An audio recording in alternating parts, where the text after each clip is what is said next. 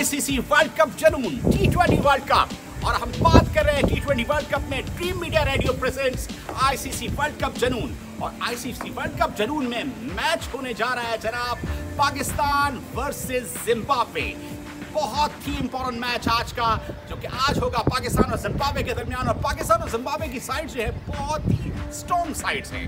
Zimbabwe ने अभी पहले ही मैच में अब बहुत अच्छा परफॉर्म किया है। और अगर देखा जाए तो पाकिस्तान और जिम्बाब्वे की दोनों साइड से तो ये हैं कि ये आने वाले मैचेस में और भी बेहतर परफॉर्म कर सकती है।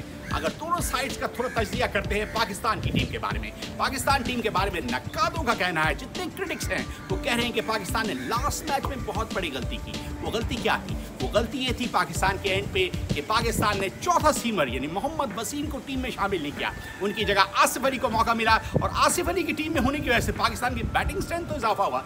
लेकिन छः सात बॉल्स का क्या फ़ायदा है आसिफ अली का टीम में रखने का? इससे बेहतर है कि आप हम चार बॉलर्स के साथ साथ जाते नवाज़ और शादाब, दो स्पिनर आपके पास ऑलरेडी अवेलेबल है। शाहिन शाह अफरीदी इंजर होने के बाद वापस आए हैं। वैसे निक में नज़र नहीं आ रहे हैं। हारिस रऊफ की बॉलिंग तो पूरे टूर्नामेंट में अच्छी रही है।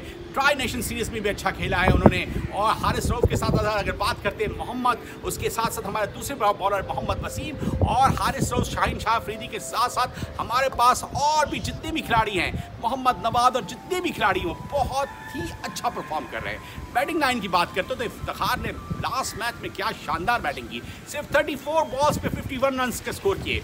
और उसके साथ साथ अगर हम बात करें, हमारे दूसरे बैट्समैन यानी कि बहुत ही इंपॉर्टेंट शान मसूद जो वापस आए हैं जनाब और बड़े ही अच्छे निकले हैं। उन्होंने भी बहुत अच्छी बैटिंग करते हुए 52 रन स्टार्ट आउट स्कोर किए। और ये दोनों बैट्समैन बहुत अच्छा खेल रहे हैं। पाकिस्तान के दोनों ओपनिंग बैट्समैन मोहम्मद रिजवान और बाबर आज़म जो है, वो फेल हुए, लेकिन पाकिस्तानी बैट्समैन मिडल ऑर्डर ने बड़ा अच्छा परफॉर्म किया और अभी तो सही मानों में छक्के नहीं लगे हैं जनाब हैदर अली के। हैदर अली उस तरह से नहीं खेल रहे हैं जिस तरह हैदर अली से तो की जाती है। हैदर अली बहुत ही अच्छे खिलाड़ी हैं और हैदर अली से बहुत सारी तो है कि वो अच्छा परफॉर्म कर सकते हैं हैदर अली। हैदर अली जिस तरह से बैटिंग करते हैं, उनसे बहुत ज़्यादा तो है हैदर अली से। और इस तरह से आज देखना यह है कि आज पाकिस्तान क्या स्कोर करता है और किस तरीके से वापस अपनी फॉर्म में आता है। जम्बावे की अगर बात करते हैं तो मजरबानी और उसके साथ चिटारा बड़े अच्छे फास्ट बॉलर हैं उनके। और उनसे बड़ी ही तो है जम्बावे को।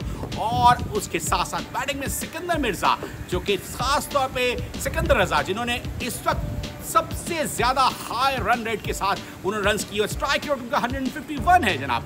और पिछले एक साल में तीसरे नंबर पे है अगर बात की जाए, सूर्य कुमार यादव और मोहम्मद रिजवान और सिकंदर रजा बहुत अच्छा खेल रहे हैं। उसके अलावा चकाबावा बहुत अच्छे हैं, शैन अरवन बहुत अच्छे हैं, शैन विलियम्स बहुत अच्छे हैं और उनकी पूरी साइड ही बहुत अच्छी है।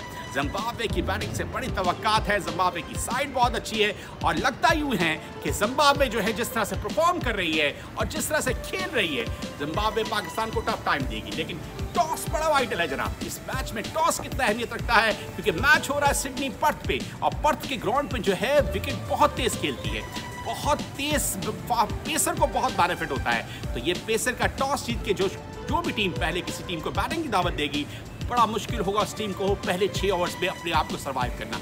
अगर छः ओवर सर्वाइव कर देती है साइड तो फिर वो उस मैच में कम कर सकती है। पाकिस्तान क्या टारगेट सेट करता है? बहुत से क्रिटिक्स का कहना है बड़े सीनियर प्लेयर्स का कहना है जो क्रिकेट के मने हुए लोग हैं उनका कहना है कि पाकिस्तान अगर 160, 170, 180 प्लस रन करता है तो ये मुश्किल होगा जिम्बाब्वे के लिए रन चेस करना। और टॉस जीत के पाकिस्तान को चाहिए कि पहले जिम्बाब्वे को बैटिंग दे और अपने पेसर का भरपूर फ़ायदा उठाए। देखते हैं पाकिस्तानी पेसर कैसे परफॉर्म करते हैं और पाकिस्तान किस तरह से कम करता है। लेकिन आई बिलीव वन थिंग कि पाकिस्तान जो है ये स्ट्रेटेजी लेके चले कि चल होके उसी तरह चाइल्ड क्रिकेट खेले और जिस तरह से वो क्रिकेट खेलता आ रहा है और ये जिम्बाब्वे से ये मैच जीतने के बाद दो इंपॉर्टेंट पॉइंट हासिल कर सकता है और वो नेक्स्ट राउंड के लिए क्वालिफाई करने के लिए आसानी होगी, क्योंकि अगला मैच पाकिस्तान का नीदरलैंड के साथ है थर्टी को। थर्ड को पाकिस्तान का मैच नेक्स्ट होने जा रहा है, जनाब। वो भी बड़ा इंपॉर्टेंट मैच है और वो साउथ अफ्रीका से लास्ट मैच छह तारीख को संडे को सिक्स नवंबर को पाकिस्तान का मैच है। वो है बांग्लादेश के साथ। फिर सेमीफाइनल्स हैं देन फिनाले है। अब ये मैच कितना अच्छा खेलेगा परफॉर्म करेगा। किस तरह से कौन सी टीम दो पॉइंट हासिल करेगी ये बड़ा इंपॉर्टेंट है। और, और दुआ कीजिए कि बारिश की कोई नज़र ना हो मैच। क्योंकि अगर बारिश की नज़र हो गया मैच तो ये पाकिस्तान के लिए बहुत बैड लक होगा।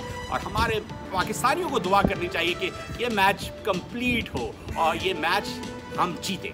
और जीतने के लिए लाजमी ये है कि हर खिलाड़ी को परफॉर्म करना पड़ेगा। आप देखना यह है कि इस मैच का कौन बेहतरीन खिलाड़ी बनता है। जिम्बाब्वे की तरफ़ से सिकंदर रजा की बहुत सी जो है ये अपॉर्चुनिटी नज़र आती है अच्छा परफॉर्म करेंगे।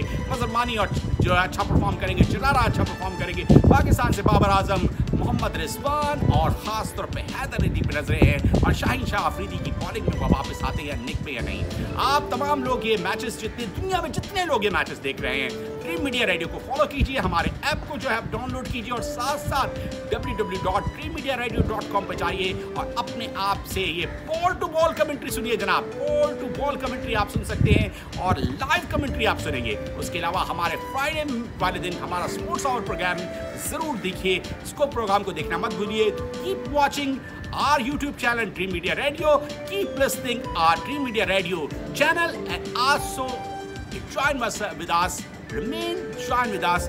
मिलते हैं आपको नेक्स्ट प्रोग्राम में और आपसे बात करेंगे इंशाल्लाह ताला अगले मैचेस के बारे में आमिर खान साइनिंग ऑफ़ मिलते हैं नेक्स्ट प्रोग्राम में अल्लाह हाफिज़